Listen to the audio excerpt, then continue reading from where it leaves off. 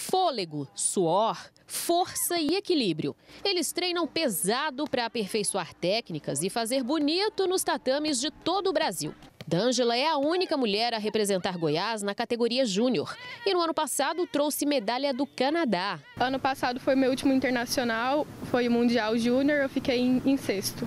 Bruno é o caçula da turma. Começou a treinar aos 5 anos e aos 12 já se destaca e tem sede de medalhas. Já comecei até que bem em relação a algumas outras pessoas. É, medalha no brasileiro, e já tendo, obtendo prata no Grandes Slam, sendo reserva da seleção brasileira cadete. Por falar em medalha, eles são puro orgulho ao mostrar essa daqui, a última conquistada no Rio de Janeiro, e que garantiu a eles uma vaga em competições fora do Brasil. Esse campeonato foi o Grande Slam, eliminatória para o Campeonato Mundial, na qual eu, Gabriel e a D'Angela ganhamos.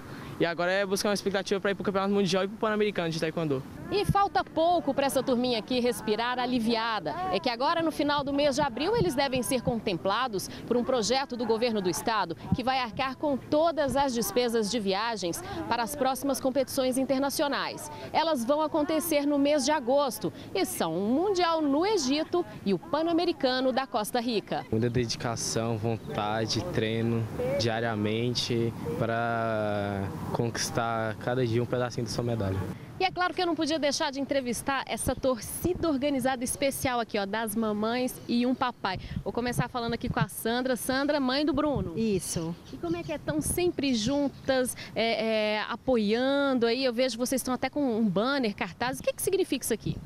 Então, esse banner é em agradecimento ao apoio do Estado e graças a esse apoio é, a gente já deixa garantido grande parte dessas viagens. A gente agradece para o esporte, a Seduz, né, pelo apoio e a gente vai buscar patrocínio porque são viagens longas e também com custeio muito alto. Uma viagem para o Egito hoje é muito cara, a gente precisa de muito apoio mesmo do poder público, iniciativa privada. Taekwondo Goiás Brasil!